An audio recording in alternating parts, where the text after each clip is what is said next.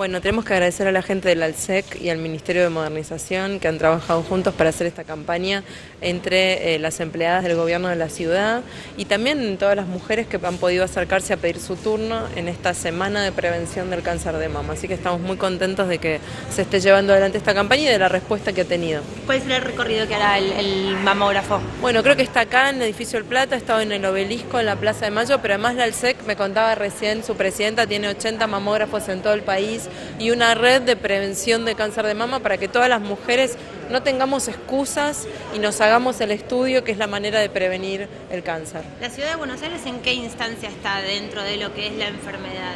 Bueno, probablemente la ciudad de Buenos Aires sea una de las eh, ciudades del país mejor equipadas en materia de salud y, y, todos los hospitales públicos tienen mamógrafos e incluso algunos centros de salud.